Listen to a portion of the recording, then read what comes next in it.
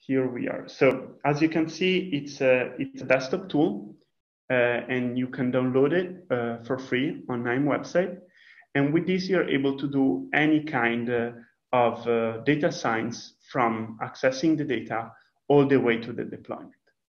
So um, to show you how it, it works, let's just uh, open a workflow that we can find here some basic example in our local repository. So for example, building a simple classifier. Now I'm opening this and you can see here from the KNIME Explorer, I selected a workflow and this is open in the canvas of uh, uh, on, the, on the workflow bench of KNIME Analytics platform. If I double click here, I can enlarge. And this is how a workflow looks like. You have uh, this uh, we call KNIME nodes, and each of these nodes does a fundamental task of uh, the data science process, starting from reading the data to uh, applying some colors to different rows based on attribute, then partitioning between train and test, training a decision tree, then uh, scoring the decision tree on data that the model has never seen before, and with a score node, evaluate performance. This is a different way to do data science. It's called visual programming. You are not coding, uh, and you basically are drag and drop uh, with using this visual interface. If I click here on the really top, execute all executable nodes, all the nodes will go will uh, will go green because data will flow through the workflow and uh, and execute each different part of the workflow. And at each given point, I can always inspect the data to see how it looks like. For example, file table here is the data that was just imported. Then we have color manager. This is the data that is uh, um, colored by a certain uh, categorical attribute. And, and so on. This is, makes it also transparent and, and easier to share. But how do we build a workflow with all these tags, with all these different nodes? Let's start from scratch so it's uh, easier for everyone. So I'm going now to uh, the KNIME Explorer here, where I can access uh, local and also remote uh, repositories of workflows and datasets. And I can right click and select new KNIME workflow. I can call it this whatever I want. I will call it virtual learner. So now I created a new workflow. And as you can see, this new workflow is open here in the workflow bench. But unfortunately, it's empty. I mean, unfortunately, it's brand new. So it's a, it's a blank sheet. We need to add some nodes. The first thing we want to do is to add some data. So how do we add some data? I'm going to select here the data. This is uh, still in the example for uh, repository here in your local workspace and select a data set which is called, uh, let me see, adult CSV. And when I can take this CSV file and just drag and drop it on the empty canvas.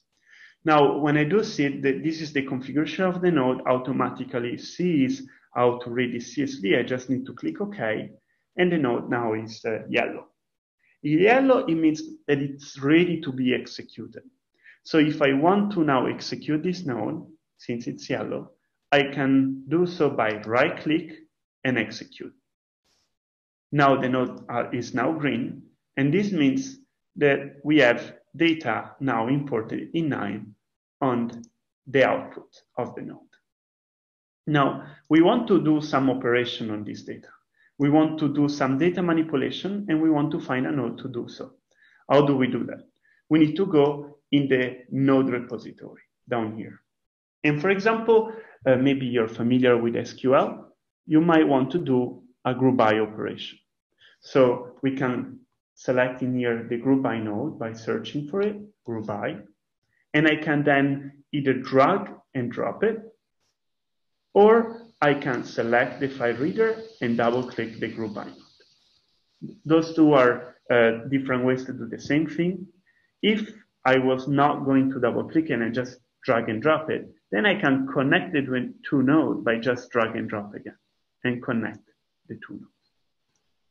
Just now that the group by node is now yellow, you can see it's red and there is this warning here to explain me what's happening. And it says, please select at least one group or aggregation column. In fact, by just adding the node, we did not configure it. We need to configure it. So how do we do this? I'm going now to uh, simply um, uh, uh, right click on the node and click configure. This is the configuration dialog. Each node has a configuration dialog, and you can use those dialog to basically uh, select um, the settings of the node. In this case, we're going to do a manual aggregation on work class, and then we are going to have also um, an average on age. So as you can see, we are now going through all the setting of the group I, but by simply clicking the two columns I want to perform this aggregation, I, I now performing uh, um, an aggregation. I'm here enhancing this for later for when we will use interactivity, the highlighting option, and then I click OK. Now the node is yellow. This means it's ready to execute. So I can go ahead, execute the node, and now see the output of the node. And um, as you can probably see, I'll make this bigger with the control plus. You can see now that for each working class of those different uh, uh, data, this is, sorry, a, a, data, I didn't mention this, about the census data set from 2007. Uh, the point is that we know the working class category of all those uh, people, and we have federal government, local government, it's about the USA. And so we have private, and, uh, and so on and so forth. So those are the average age for each uh, working class, but come on, there is also a better way to look at the data uh, that is looking at the age distribution by dif these different working class. For example, I can use a violin plot.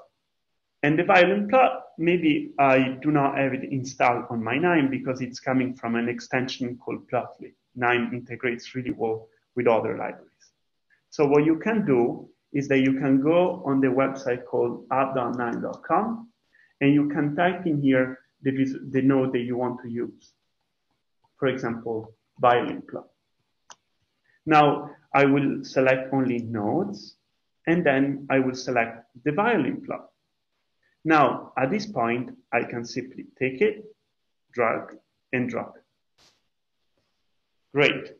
So now I added this node and it's part of the Plotly extension. If I did not have the Plotly extension, I, uh, KNIME was going to ask me to install it from our update site. So um, it might ask you, please install this node, and then you go next, next through a wizard execution, and then you restart KNIME and you're able to use it.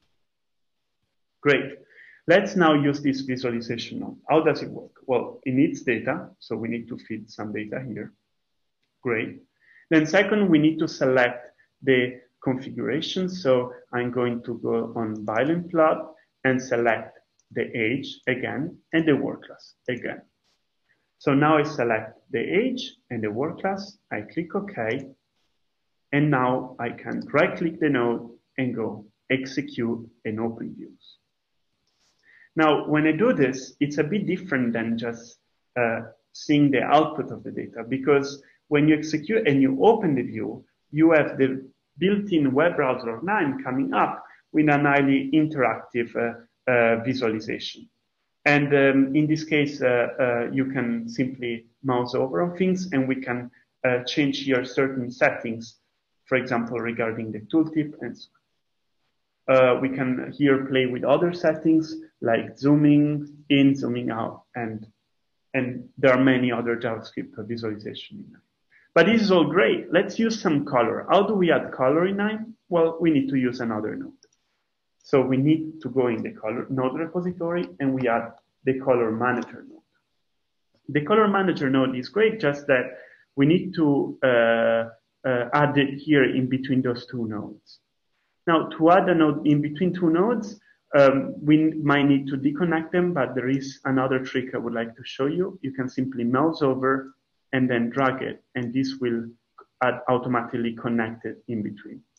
We open the settings of the node, we select the working class, we click OK, and now the, the, the node is, um, um, is connected. And if I open, execute the node, and then go in interactive view, then it will um, show the same plot of before, just that now it's being colored. Okay, so um, this is uh, to have uh, a visualization, but what if I want to add something more complex, like a dashboard? Also, this is possible in I. You just need to use more than one visualization node. Let's, for example, drag in a table view node. This is a, a JavaScript node simply showing a table.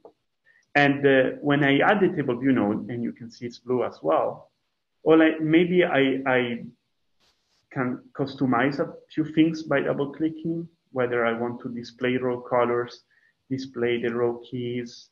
We can maybe leave it like this uh, at the moment. And then another functionality of KNIME is to use components. So for example, I add a row filter here that I will need later. I select all the nodes that I want to in my, uh, in my component. I select all four of them. I right click and then I select create component. This demo is to show you a bit of many functionality at the same time. Time will during the workshop we'll go slow through those topics.